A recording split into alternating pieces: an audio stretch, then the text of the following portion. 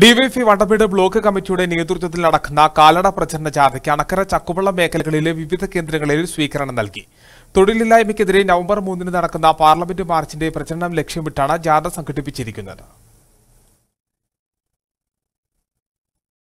രാജ്യത്തെ തൊഴിലില്ലായ്മ പരിഹരിക്കണമെന്നാവശ്യപ്പെട്ടും മതനിരപേക്ഷ ഇന്ത്യ എന്ന മുദ്രാവാക്യം ഉയർത്തിയുമാണ് ഡിവൈഎഫ്ഐയുടെ നേതൃത്വത്തിൽ നവംബർ മൂന്നിന് പാർലമെന്റ് മാർച്ച് സംഘടിപ്പിച്ചിരിക്കുന്നത്.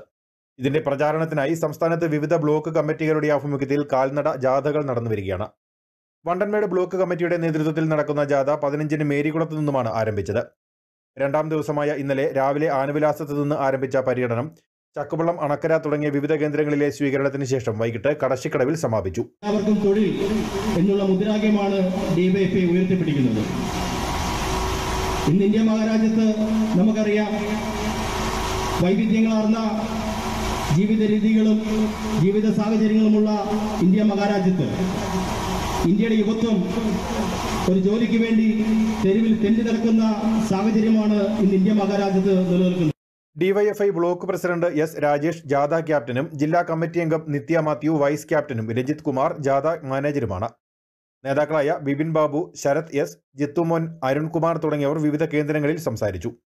മൂന്നാം ദിവസമായ ഇന്ന് രാവിലെ പുറ്റടിയിൽ നിന്നും ആരംഭിക്കുന്ന ജാഥയ്ക്ക് വൈകിട്ട് ചേറ്റുവഴിയിലാണ് സമാപനം. News bureau Anakkara. ഇത്തവണ ആഘോഷിക്കാം ഒരു മാസ് ഓണം. ഏവർക്കും ഹൈറേഞ്ച് ഹോം അപ്ലയൻസസിന്റെ ഓണാശംസകൾ.